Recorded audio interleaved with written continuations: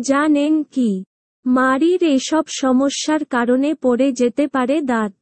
সুস্থ দাঁতের জন্য চাই সুস্থ মাড়ি সাধারণত মুখের ভেতর জীবাণুর আক্রমণের কারণেই মাড়ির নানা ধরনের সমস্যা হয়ে থাকে। মাড়ির যত্ন নিশ্চিত করতে মুখ পরিষ্কার পরিচ্ছন্ন রাখার বিকল্প নেই। কেন চাই মাড়ির যত্ন? মাড়ি হল দাঁতের ভিত্তি। গোড়াতেই যদি হয় গণ্ডগোল, তবে কি আর কিছু ঠিকঠাক থাকে? মাড়ির সমস্যা হলে ব্যথা তো হয়ই, ফুলে যেতে পারে মাড়ি, দেখা দিতে পারে লালচে ভাব, সহজে রক্তও পড়তে পারে। মাড়ি নিচের দিকে নেমে আসা কিংবা দাঁত স্বাভাবিকের চাইতে বড় দেখানোর মতো সমস্যাও হতে পারে। মাড়ির সমস্যা জটিল আকার ধারণ করলে দাঁত পড়ে যাবার ঝুঁকি পর্যন্ত থাকে। এছাড়া বয়োজ্যেষ্ঠ ব্যক্তির ক্ষেত্রে মারির সংক্রমণের কারণ শ্বাসতন্ত্রে সংক্রমণ ছড়িয়ে পড়ার ঝুঁকি থাকে। দাঁত পরিষ্কারের জন্য নরম ব্রিসলের ব্রাশ ব্যবহার করুন। দাঁত পরিষ্কারের জন্য নরম ব্রিসলের ব্রাশ। বেলা দাঁতব্রাশ করার কোনো বিকল্প নেই।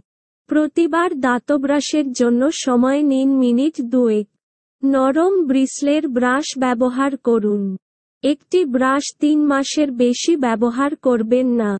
তার আগেই ব্রিসল ক্ষয় হয়ে গেলে কিংবা ব্রিসল বেরিয়ে এলে সঙ্গে সঙ্গেই ব্রাশ পরিবর্তন করে ফেলুন। রোজই ফ্লস ব্যবহার করুন। দাঁতের ফাঁকে কিছু জমবে। তারপর ফ্লস করবেন, এমন অভ্যাস করা ভুল। খাওয়ার পর কুলকুচি করুন। মিষ্টি স্বাদের খাবার খাওয়ার পর অবশ্যই ভালোভাবে মুখ পরিষ্কার করতে হবে। পানি তো বটেই। জীবাণুরোধী মাউথওয়াশ দিয়ে মুখ ধোয়াও ভালো অভ্যাস। ভিটামিন সি জাতীয় খাবার খেতে হবে রোজ। বর্জনীয়। কখনো দাঁতে দাঁত ঘষবেন না বা দাঁতে দাঁতে চাপ দেবেন না। ধূমপান বর্জন করুন। পান, তামাক, সুপারি, জর্দা গুল প্রভৃতি সেবনের অভ্যাস রাখা যাবে না। মুখ ও দাঁতের সুস্বাস্থ্য নিশ্চিতে পরিচ্ছন্নতা জরুরি। মুখ ও দাঁতের সুস্বাস্থ্য নিশ্চিতে পরিচ্ছন্নতা জরুরি ছবি।